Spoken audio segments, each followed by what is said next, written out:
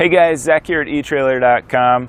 The last couple days, we've been out here testing some ways to carry some stuff on the back of our camper here, and we found that we really like this line of Mount-n-Lock Jenny Goes. It allows us to carry some heavier items like this generator. This generator weighs 90 pounds dry. We put in some fuel, it's going to be a little bit more. It's not anywhere near the capacity of this heavy duty aluminum one. That's going to be 250 pounds. That's a lot of weight on the back of our camper. Some of those factory bumpers may not be able to hold that weight. You've probably seen some of those bumpers that have had some traditional cargo carriers on the back of them. They start bending a little bit. Those aren't really intended to carry a lot of weight. So Mount-n-Lock came up with a great idea. They've created the safety strut. And the safety strut is going to add a little bit more capacity to your bumper. It's not going to add capacity to this carrier or anything, but it's going to make your bumper a lot stronger. The safety strut is a pretty straightforward design.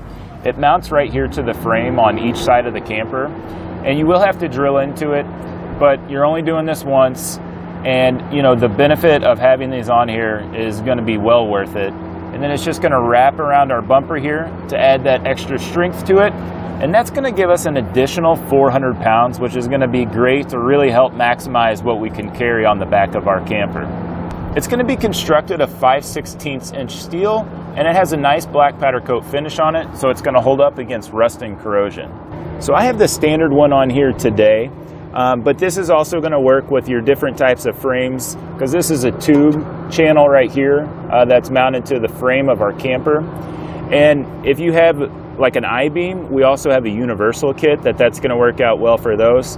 But what's great about both those kits is it's going to come with all the included hardware to get that secured in place. As you can see here, this is where our safety strut is going to mount.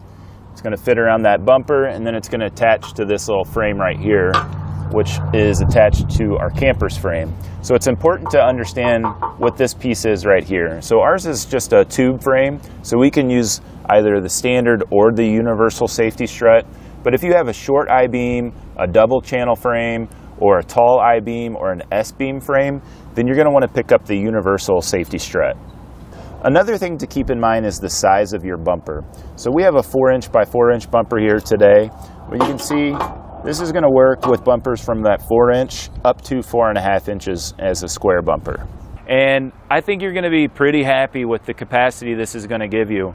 You know, if you've got that standard bumper that isn't going to give you a lot of weight to carry a couple generators back here, or if you have a heavy modified version like we have here, that weight rating is going to give you a lot of possibility for carrying a lot of different stuff back here. So overall, it's a really good way to get you some higher weight. It's easy-ish to install, and I think you're going to be pretty happy with it. That's going to do it for our look at the Mount-n-Lock safety struts.